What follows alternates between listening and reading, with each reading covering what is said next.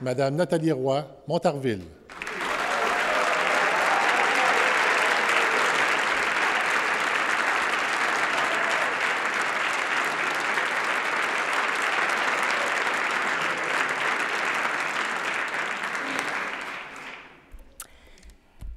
Je, Nathalie Roy, jure que je serai fidèle et porterai vraie allégeance à Sa Majesté la Reine Élisabeth II.